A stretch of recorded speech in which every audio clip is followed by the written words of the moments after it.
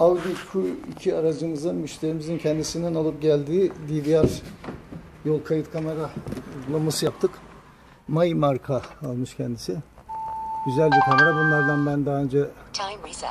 Taktım. Şu an kaydına başladı. Gayet güzel.